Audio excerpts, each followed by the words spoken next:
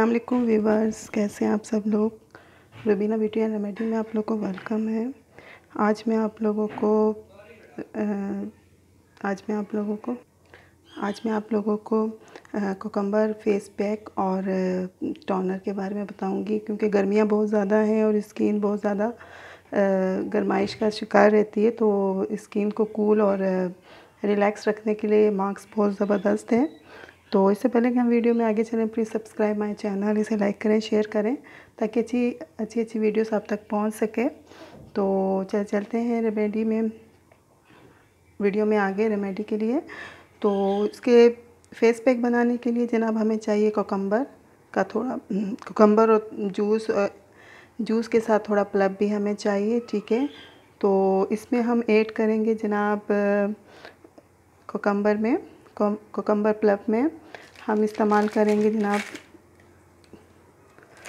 मुल्तानी मिट्टी, ठीक है? मुल्तानी मिट्टी का पाउडर ठीक है?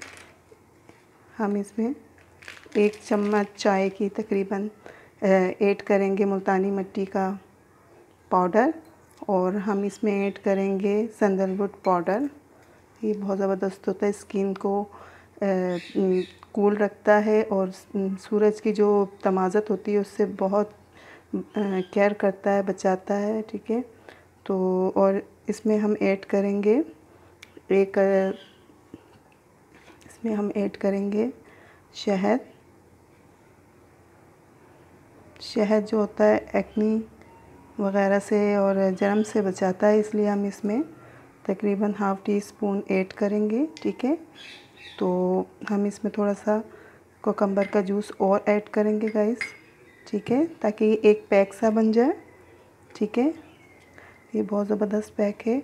और इसमें हम ऐड करेंगे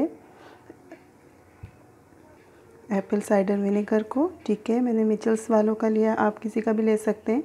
इसमें हम तकरीबन हाफ़ तकरीबन हाफ़ टी स्पून के बराबर हम एप्पल साइडर विनेगर को ऐड करेंगे, ठीक है?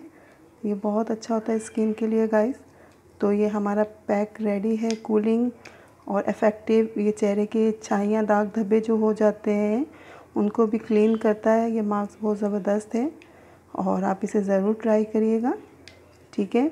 इसके बहुत ज़्यादा फ़ायदे हैं फ़वाद हैं। आप इस फेस पैक को यूज़ करें और टोनर के लिए गाइस ये जो फेस पैक के बहुत ज़्यादा जो चेहरे पे छाइयाँ वगैरह है हो रही होती हैं या दाने हो रहे होते हैं, उनके लिए बहुत ज़बरदस्त है गर्मी में। तो आप इसे ज़रूर ट्राई करिएगा। हफ़्ते में इसे तकरीबन आप एक दिन छोड़ के एक दिन इस्तेमाल कर सकते हैं गर्मी आए। तो ये पोर्स को भी टाइट करेगा स्किन को कूल करेगा फेयर करेगा और जो दाग धब्बे उन्हें भी रिमूव करेगा। ठीक है जी? आप इसे आराम से बना सकते हैं। इसमें वो तमाम चीज़ें जो घर में नॉर्मली मिल जाती हैं, ठीक है? और इसका बहुत ज़बरदस्त रिज़ल्ट आप हासिल कर सकते हैं, ठीक है? और टोनर बनाने के लिए गाइस हमें कोकम्बर चाहिए और एप्पल साइडर विनेगर हमें चाहिए होगा, ठीक है?